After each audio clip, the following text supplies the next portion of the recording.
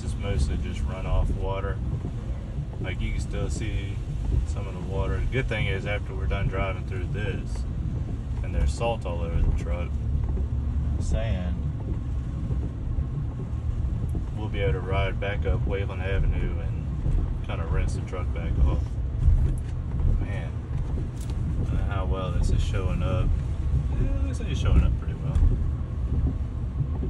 see if I can get it from this side. Yeah, you- that's oh, yeah. better. Yeah, you can see it really well over there. Wow.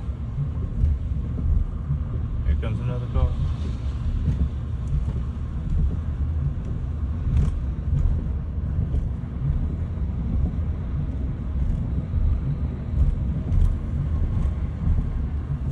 Don't really see any activity out here on the beach water as far as But people, boats, or anything. sure, Oh yeah. Oh yeah. Here's a good one. Oh, here's a little bridge, a little crossover bridge. One of the little drainage ditches. Can't really see the sand. Let's see.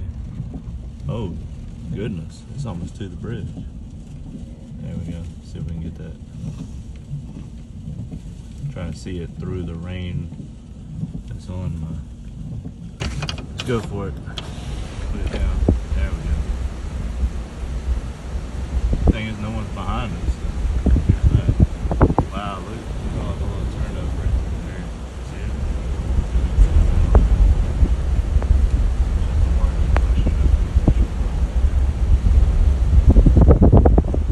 Oh wow, actually no, that's he created a little sandbar there. Wow, I didn't even realize that. Oh, shrimp. I didn't even realize that. The water actually wrapped around the sand. It's on the north and the south side. It's sand. That's interesting. Oh goodness, look how far up the water is.